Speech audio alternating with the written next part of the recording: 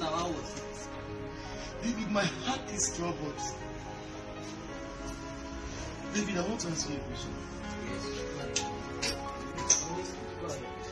David, my heart is. I'm confused because at this point I don't know what to do. David, who actually is God? Huh?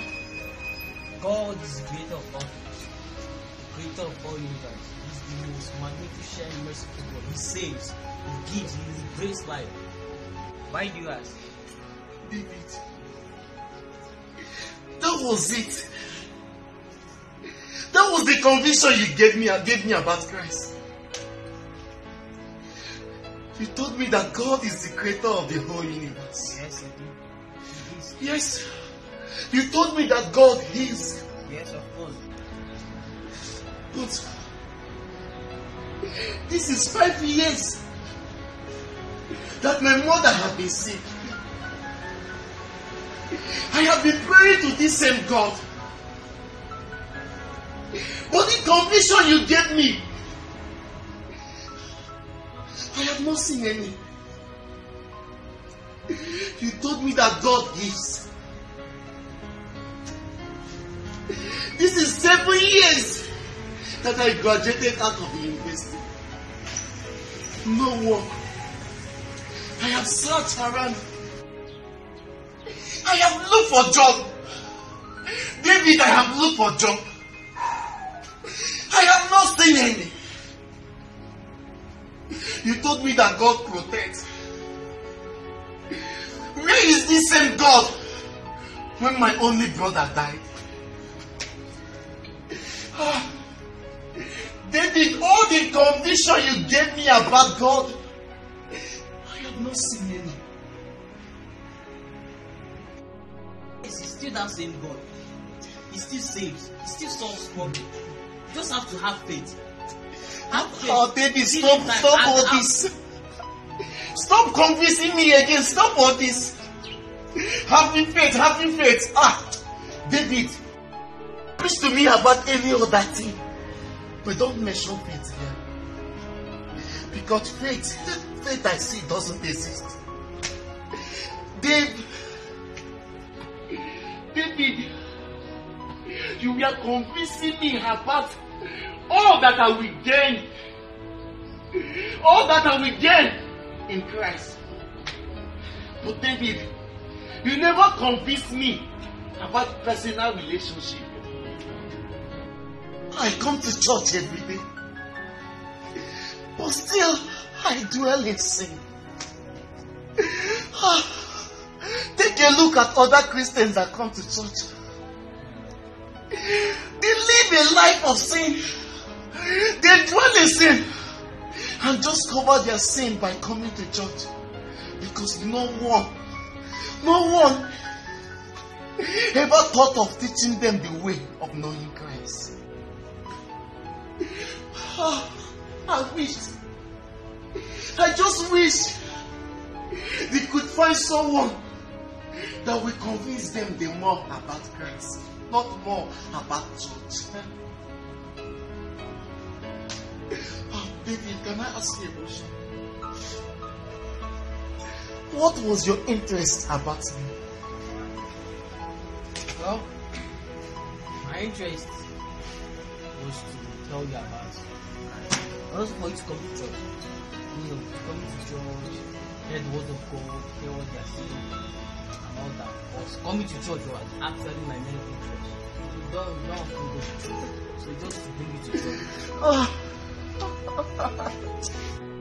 David, that was where you got it from.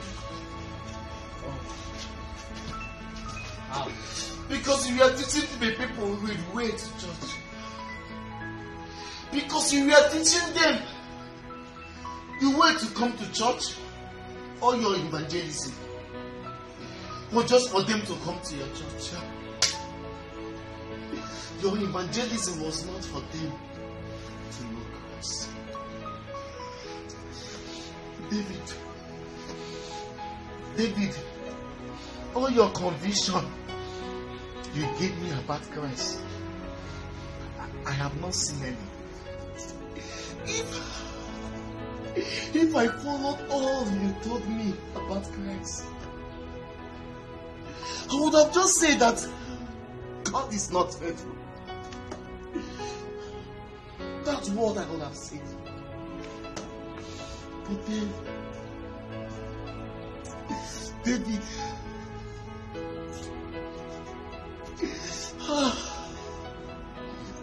at your conviction. Look at what he convinced me about Christ. You are just convincing me about he heals, about he protects, about he bless. What about teaching me about personal encounter? What about teaching me about waiting upon him? Babe, you never did all this. I come to think of it, all your interest was just about for me to come to your church. Attend your church. Dave, you gave me a wrong condition. But it's not. It's not. It's not, it's not that I just that I thought maybe coming to church, listening to the word of God, will change you make you know Christ the more.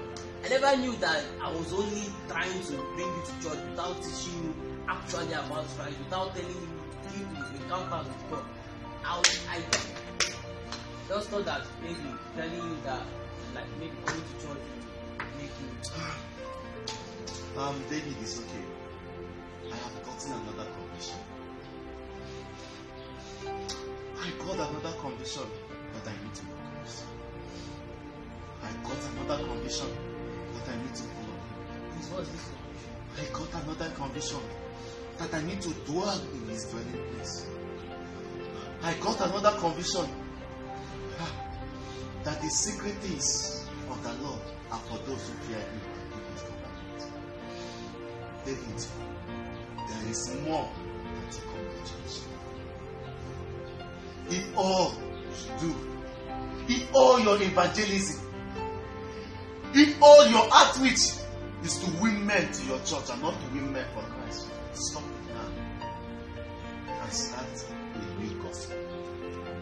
Start telling men about how to see the face of Christ. Start telling men about what they will encounter when they want to see Christ, when they want to meet Christ. there is more that come to church.